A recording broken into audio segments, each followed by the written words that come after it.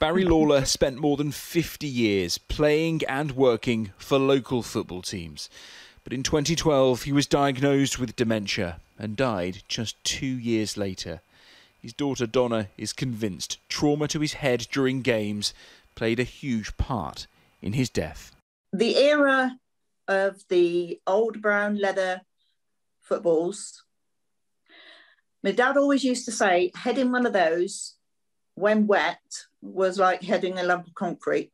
It is, it's obvious that that is what eventually killed him. The thing he loved most in the world was the thing that killed him. Donna's story tallies with new research from University College London. It's found people who experienced head injuries in their 50s or younger all scored lower on cognitive tests at the age of 70. We found that people who had a head injury had um, worse performance on memory tests, um, some tests on processing and speed um, and thinking, and also some differences in um, some of the structure of the brain. So we were able to look at lots of different measures of brain health, and the measures that were affected uh, or linked with head injury were those structural changes.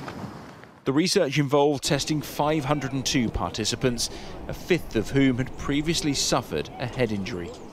This study adds further evidence on how head injuries can lead to long-term effects on the brain. But the research team is keen to stress that it's not just those involved in sport who can be affected.